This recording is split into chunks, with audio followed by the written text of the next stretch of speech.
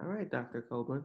Um, my first question is what makes SEP-4199 unique from uh, some of the other antipsychotics available to treat uh, bipolar disorder patients with depression? So thank you for the question. Um, uh, embedded in your question, you asked, you know, the other antipsychotics that are used to treat uh, patients with bipolar depression. And I think that's the most important um, point to make right up front. Most uh, antipsychotics that are used to treat bipolar depression were developed as antipsychotics. Uh, and so to actually identify the correct dose for each of the patients that are suffering during their depressive episode, um, it takes uh, some uh, clinical work to actually go and identify that. In contrast, 4199, SEP 4199 was actually engineered to be an antidepressant that we can use in the bipolar depressed patient population. So we engineered it right up front, not as an antipsychotic, but as a medicine that would be uh, beneficial for people suffering from bipolar depression. Okay. Now, um, I guess kind of speaking broadly, what are some of the challenges in treating this specific patient population? So the specific patient population of bipolar depressed patients, um, uh, in as much as they're treated with antipsychotics, they actually suffer from some of the side effects associated with the D2 class of agents, the dopamine blockade, which are really uh, driving the efficacy from the uh, antipsychotic class. So um, things like akathisia and other D2 related adverse events really um, have a significant impact uh, in terms of those patients.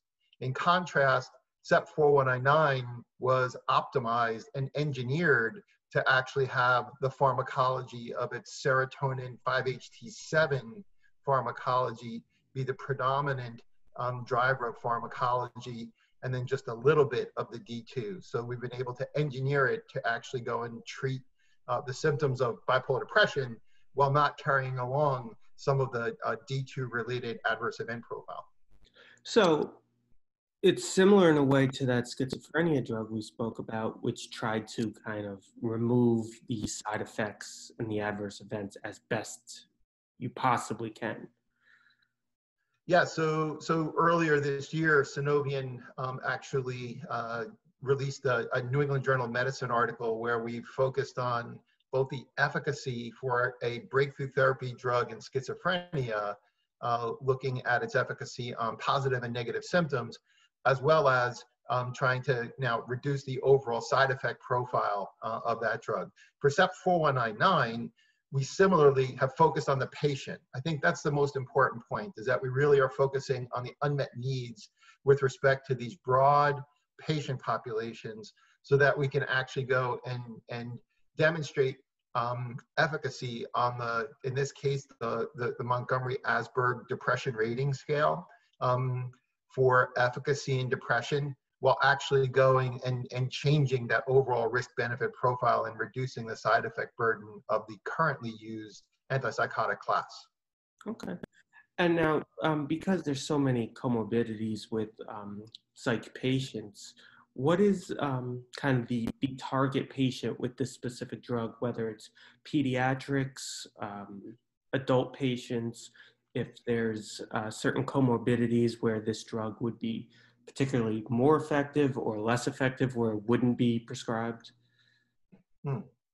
So thank you for the question. So, so SEP 4199 um, was studied in a broad population from 18 to 65 years of age, and it was studied across the globe from Japan to uh, Eastern Europe, including the United States.